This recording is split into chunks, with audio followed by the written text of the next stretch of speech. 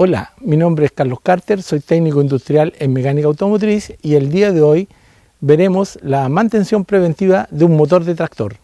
El mantenimiento preventivo consiste en realizar las mantenciones programadas en el manual del operador. Con esto evitamos costos innecesarios y fallas prematuras en el equipo. Una de las operaciones de mantenimiento es el cambio de aceite de motor que el operador puede realizar siguiendo los pasos adecuadamente.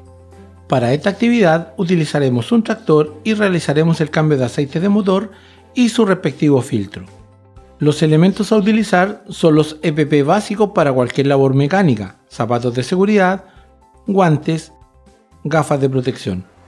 Para realizar el cambio de aceite debemos posicionar el tractor en una superficie nivelada, retirar el tapón de drenaje del cárter, recolectar el aceite usado en un recipiente adecuado, evitando el derrame y la contaminación del entorno. Desmontar el filtro de aceite. Limpiar la base del filtro. Con el filtro nuevo, aplicar una película de aceite en la goma y el hilo roscado de este. Instalar el filtro de aceite apretándolo convenientemente con la mano. No utilizar herramientas ya que podrían deformar o dañar el filtro. Instalar nuevamente el tapón de vaciado del cárter apretándolo convenientemente. Retirar la tapa de llenado previamente limpiando alrededor para evitar que entre suciedad al motor.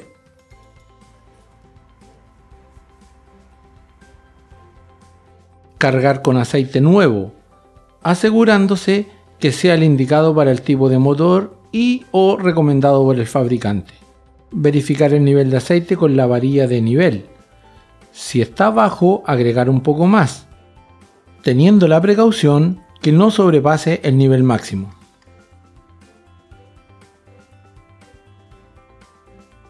Arrancar el motor.